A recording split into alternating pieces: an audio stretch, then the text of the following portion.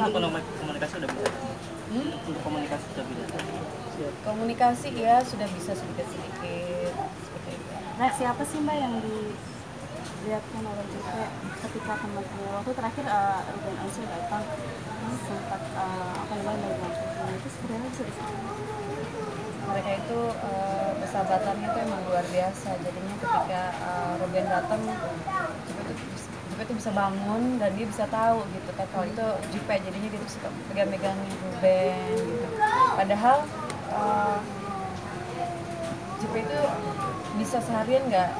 Tertidur bisa seharian tertidur gitu ya kita panggil panggilin dokter panggil panggilin Jupe Jupe bangun yuk gitu kan dokter yang coba bangunin ayo Jupe bangun yuk gitu. Tapi dia cuman yang buka mata tidur lagi gitu. Tapi kalau pas Ruben datang dia langsung yang Ruben gitu. Yang yang senyum bahagia gitu. Jadinya tuh Ruben benar-benar emang memberi semangat juga buat dia.